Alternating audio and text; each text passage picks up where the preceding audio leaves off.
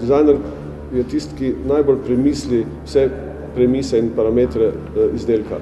In seveda, eh, eh, če, že, če dizajner doseže to skladnost izdelka, potem je možno naslednji stopni, da bo tudi uporabnik zadovoljen s tem izdelkom. Se pravi, dizajner tisti, ki premišlja vseh preko elementih zgradbe nekega izdelka, vseh detajlih in jih seveda oblikuje v tisti v duhu najboljše rekel, eh, kvalitete in eh, oblike, vide za uporabnosti, funkcije, materijalov in tako naprej. Ne. Spravi, on premisli izdelek predno, gre on v proizvodnjo.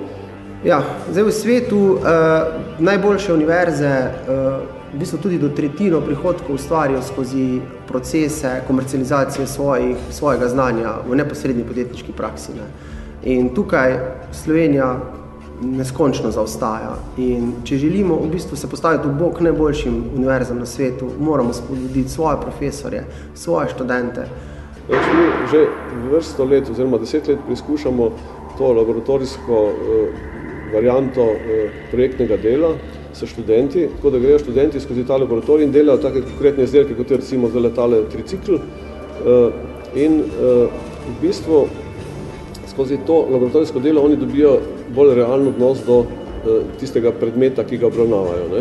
In ko oni to končajo, študij, pa nastane nek prepad med tistim diplomskim projektom pa delom in seveda potem zaposlitvijo. Ne.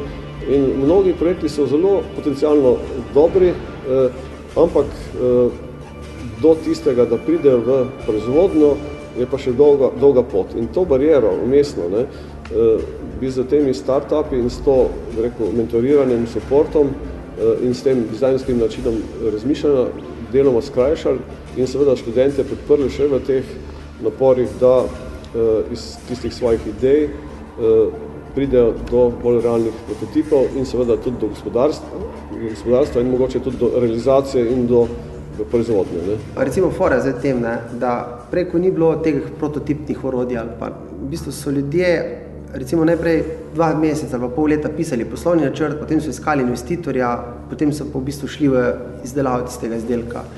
Zdaj pa v bistvu je to zelo veliko tveganje, da tisti izdelek, ki ga bodo razvili, sploh ne bo sprejet strani uporabnikov. Ne? In zato se zdaj v bistvu, v bistvu nekak praksa kaže, da je treba drugače pristopiti. Ne? Najprej nek demo izdelati, ga pokazati uporabnikom, videti njihov odziv, pa potem najprej izdelek vse grobo izpili, da v bistvu res zadovoljuje potrebe potrošnika, pa potem iti v pisanje poslovnega načrta in iskanje investitorja.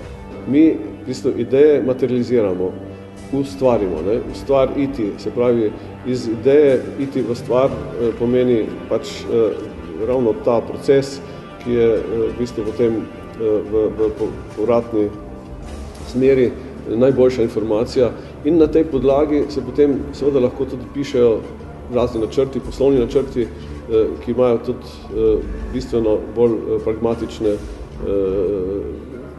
rekel, realne okvire, ne, iz katerih izhajamo. Ja, predvsem bom poskušal predstaviti, kako lahko podjetnik brez denarja izgradi startup podjetje in sicer v tisti fazi, ko pravzaprav ima še, šele idejo, s katero želi zadovoljiti potrebo določenih uporabnikov, nekako pa ne vem, kako bi zdaj to skomercializiral, kako bi v bistvu pripeljal podjetje do stopnje, ko bi bilo tudi uh, uspešno na trgu, ko bi uspešno tržilo izdelke in storitve.